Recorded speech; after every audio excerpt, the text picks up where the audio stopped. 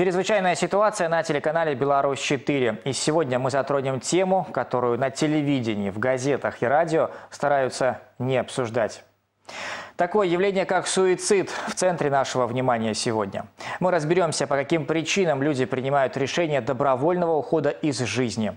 Невыдуманные истории гомельчан и комментарии специалистов. Мы попытаемся ответить на вопрос, в чем заключается природа этих поступков и можно ли их избежать. Как помочь человеку, который запутался в жизни и не видит выхода. По данным Всемирной организации здравоохранения, ежегодно в мире решение добровольно уйти из жизни принимает около 800 тысяч человек. Среди них 30 тысяч китайцев, 260 тысяч индийцев, 40 тысяч американцев, 30 тысяч русских, 20 тысяч японцев и 10 тысяч украинцев. Все эти государства относятся к группе стран со средним уровнем самоубийств. Сюда же причисляют и Беларусь. Более 50% из этих суицидентов – это люди трудоспособного возраста, но не имеющие работы, не имеющие постоянной занятости. А, порядка 50% не имели а, официальной семьи. А, более 40% находились в состоянии алкогольного опьянения. Находились в тяжелых, скажем так, социальных и материальных условиях. Уровень самоубийств – это соотношение количества завершенных попыток самостоятельного ухода из жизни на 100 тысяч человек населения. Вот данные официальной статистики. За 9 месяцев текущего года уровень завершенных суицидов в Гомельской области составил в среднем 18 человек на 100 тысяч населения. В абсолютных цифрах это 263 удавшиеся попытки добровольного ухода из жизни. Если сравнить с показателями 2016 то прирост составил почти 9 смертей. Рост уровня суицидальной активности наблюдается в 7 районах районах области – Брагинском, Житковическом, Кармянском, Мозырском, Наравлянском, Рогачевском и Гомельском. Первое место в мире по уровню суицидов занимает Гаяна, страна, расположенная на северо-востоке Южной Америки. В этом небольшом по площади государстве на 100 тысяч населения в среднем регистрируется от 40 до 44 самоубийств, при том, что в стране всего проживает 740 тысяч человек. Причины – глубокая бедность, злоупотребление алкоголем и, учитывая аграрный уклад экономики, легкий доступ к смертоносным ядам, пестицидам. Все это делает Гаяну самым суицидальным местом на Земле. Причины суицидов, они вообще очень многообразны. Это Большое значение имеет социальный, конечно, фактор, социально-экономический. Мы говорим, что это потеря работы, это потеря социального, потеря экономического статуса, это тяжелые болезни соматические, тяжелые э, депрессии, злоупотребление психоактивными веществами. Все-таки порядка 50% людей находятся в состоянии алкогольного опьянения, когда они совершают. Это ведь тоже немаловажно.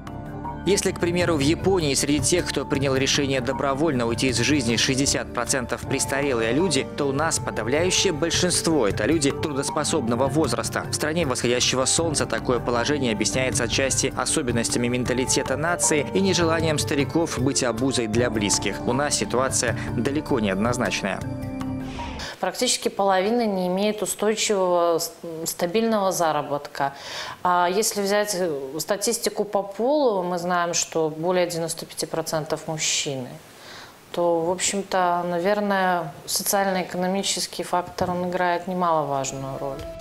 Среди других причин – асоциальный образ жизни, глубокие внутренние переживания, потеря близких, безответная любовь, финансовые трудности, долги, пресыщение жизнью, болезни. Примерно такая же градация и в других постсоветских государствах – России, Казахстане, Украине. В умах славянских людей проблемы, связанные с физическими недугами, видимо, меньше всего вызывают мысли суицидального характера. Для нас важно место в социуме и понимание, чем мы можем быть полезны людям. Данному поступку э, наиболее подвержены лица, которые страдают депрессией. Э, значит, э, на втором месте это лица, которые злоупотребляют алкоголем. Потом идут лица, которые злоупотребляют наркотиками, являются носителями расстройств личности. Я имею в виду о клиническом расстройстве личности, или как раньше это называли психопатией. А, и, в общем-то, есть еще причины, но они уже не настолько велики. С января по сентябрь 2017 в Гомельской области было зарегистрировано порядка 800 попыток добровольного ухода из жизни. Это случаи, в которых медикам удалось вовремя оказать помощь людям. К слову, те, кто принимают решение о самоубийстве, часто не обращаются по вопросам своих психологических проблем к специалистам. По статистике это делает лишь каждый четвертый потенциальный пациент. На территории Гомельской области в последнее время наблюдается некоторый рост как количества завершенных суицидов, так и попыток добровольного ухода из жизни. Глобальный кризис затормозил финансовые рынки, у людей образовались долги, кто-то потерял близких, остался наедине со своими бедами или не смог пережить результата собственных ошибок.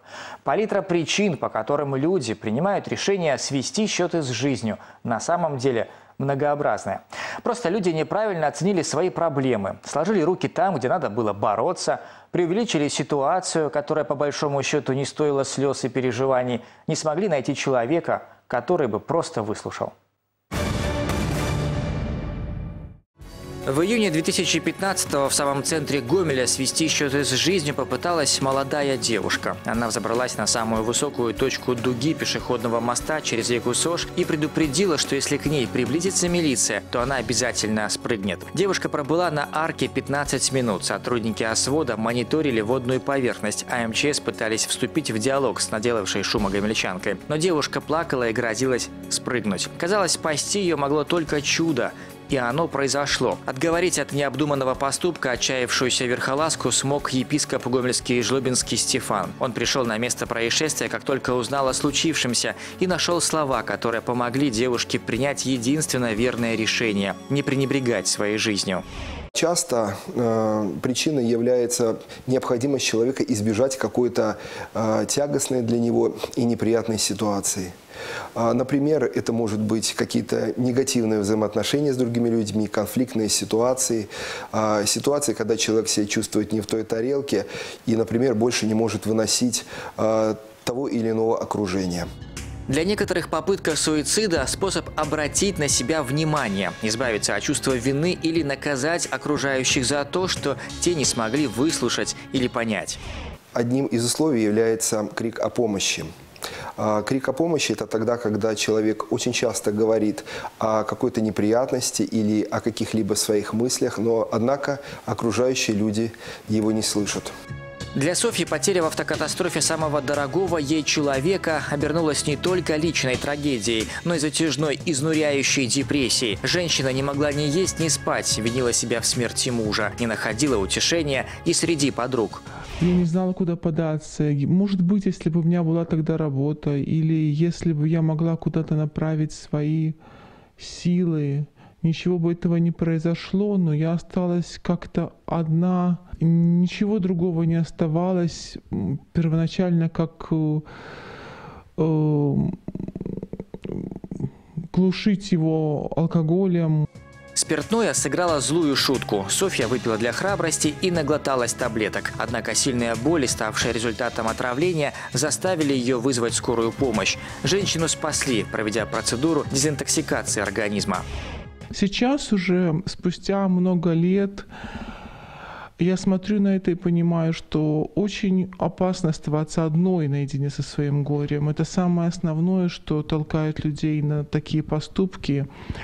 А, которые не стоят того, чтобы их совершать. По мнению специалистов, признаками того, что человек может совершить суицид, являются странности поведения. Человек может быть грустен, он может э, говорить о плохом, он может не следить за собой, или он может быть наоборот достаточно весел, энергичен, он может раздавать э, э, свои вещи, делиться деньгами, он может рассказывать людям о том, что в конце концов все эти трудности у него скоро закончатся, и у него будет все в порядке. Задача близких – быть чуткими, не иронизировать, если человек воспринимает все слишком серьезно, постараться в трудную для него минуту протянуть руку помощи. Чаще всего люди боятся э, какого-то учета, о котором, о котором они постоянно думают, и о том, что якобы будет испорчена у них жизнь. В настоящий момент в настоящий момент. Существуют э, анонимные приемы психологов и психотерапевтов, когда человек приходит, не, предостав... не предоставляя каких-либо свидетельств о их личности, паспорта или каких-либо документов. И он элементарно может поговорить со специалистом и, в общем-то, разрешить свой внутренний конфликт или разрешить свои страхи. Неприятная история Федора началась после того, как мужчину сократили на работе. Дома начались скандалы и ссоры. Боль от расставания с женой и детьми долго не проходила. Чем дольше в его жизни отсутствовала работа, тем чаще он выпивал. То есть пришло решение, что надо уйти из жизни. Я набрал воды в ванну и лезвиями вскрыл себе вены. Но в какой-то момент просто банально стало очень страшно. Дальше лечение на стационаре и реабилитация. Специалисты мужчине помогли. Сегодня уже мало что в жизни Федора напоминает о тяжелых испытаниях судьбы. Сейчас у нас семья, да, прекрасная, дети. То есть все хорошо, я бросил полностью пить. Тяжело представить, что бы было, если, если бы скорая не, не успела. По словам психотерапевтов, мужчины доводят попытки суицидов до завершения в 95% случаев. Женщины примерно в 50%. Это обусловлено не только отличиями в психологии представителей сильной и слабой половины человечества, но и целями, которые они хотят достичь с помощью таких поступков. Очень часто э, здесь фигурирует обида и возможность, э, по мнению, естественно, человека, пытающегося совершить э, самоубийство, каким-то образом наказать тех людей, которые его не слышат. Возможно, продемонстрировать то, что он тот человек, который заслуживает определенного к себе внимания. Не исключено, что по этой причине в мае 2012 года покончить жизнь самоубийством решили две девушки. Сразу после праздничных гуляний они пошли на автомобильный мост через Сож и, преодолев ограждение, стали готовиться к прыжку. Прохожие обратились за помощью к патрульным. Те отреагировали мгновенно. Подъехали на мост, увидели много гражданских машин, стоявших, скорую помощь. Вот. Подойдя, выйти с машины, к нам подбежали гражданские, сказали, вот девчонки хотят прыгнуть. Обошли машины с, с обратной стороны, чтобы нас не видели девчонки. Э, попытались войти с ними в контакт, после чего одна девочка сказала другой, давай будем прыгать. Нас приехали спасать. Э, быстро перескочив через парапет, нам удалось только одну девчонку поймать, а вторая как бы уже спрыгнула. На помощь к утопающей бросился второй сотрудник ОМОНа. Мужчина спустился по склону моста, снял верхнюю одежду и поплыл. Несмотря на то, что потерпевшая провела в 4-градусной ледяной воде почти 10 минут, она смогла прийти в чувство и поблагодарить своего спасителя. Она уже практически начинала терять сознание, то есть переохлаждение уже давало свое. Я так понял, что умирать она совсем не хотела, боролась до конца. А ведь до подобных ситуаций себя лучше не доводить. Сегодня по любым проблемным вопросам, касающихся сферы здоровья и взаимоотношений, специалисты готовы оказать квалифицированную помощь. Специалисты располагают соответствующими методиками диагностики. Специалисты располагают опытом. Специалисты располагают широким спектром медикаментов, а также широким спектром психотерапевтических методик, техник и направлений. Значит, однозначно э, человек может быть спасен тогда, когда он обратится к специалисту. Даже если посмотреть на эту проблему по-философски, то жизнь – это подарок, которым Бог награждает каждого. Может, вопрос в том, что не все мы можем по достоинству его оценить и правильно воспользоваться. Берегите себя. Это была программа «Чрезвычайная ситуация» на телеканале «Беларусь-4». До свидания.